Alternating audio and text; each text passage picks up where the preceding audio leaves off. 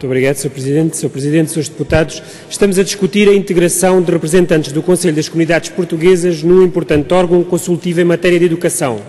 Reconhecemos como positivo o facto do PSD se vir preocupar com o ensino do português no estrangeiro, cujo rumo o PCP tem vindo a denunciar.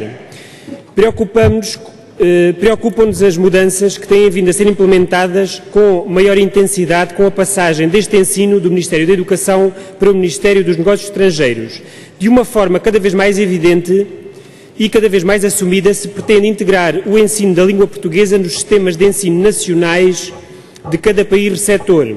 Fazer isto substituindo o ensino da língua portuguesa como língua materna, passando a ensiná-la como língua estrangeira, é cortar de vez o cordão umbilical que liga portugueses e lusodescendentes a este país de origem. É o Presidente da Comissão de Língua, Educação e Cultura do Conselho das Comunidades Portuguesas que alerta para que os diplomas de 2009, que promoveram as alterações um, do ensino de português no estrangeiro, que contêm, e abro aspas, contêm disposições discriminatórias que conduzirão a curto prazo à extinção do português enquanto língua identitária e à integração total da cultura portuguesa nas culturas dos países de residência. Fim de citação.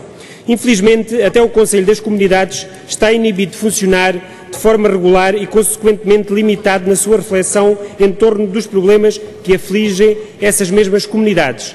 Neste este contexto existe uma intervenção veemente por parte daqueles que continuam a defender que o país não deve abandonar, começando pela língua e pela cultura, aqueles que procuram no exterior um futuro que não conseguiram encontrar no país.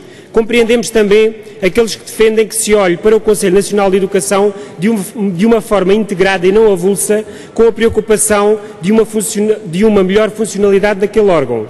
A necessidade de, de acompanhar a necessidade de acompanhar as alterações introduzidas, por vezes a ritmos vertiginosos, no sistema de ensino, exigem que este órgão consultivo possa ser cada vez mais eficiente. Como sempre, estaremos disponíveis e empenhados em dar o nosso contributo quando se entender realizar uma reformulação, independentemente do modelo que se encontre para a fazer. A defesa do direito a defesa do direito que cada português tem ao acesso ao ensino da sua língua materna deve, deve ter o melhor acolhimento por parte de todos. Disse.